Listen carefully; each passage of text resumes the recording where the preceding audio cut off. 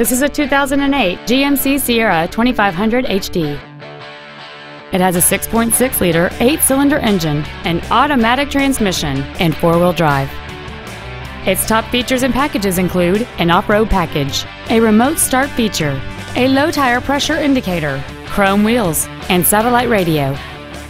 The following features are also included air conditioning with automatic climate control, a lift assist tailgate, heated side view mirrors, a six speaker audio system, a leather wrapped steering wheel, variable valve timing, an illuminated driver's side vanity mirror, OnStar, dual cargo area lights, and cruise control.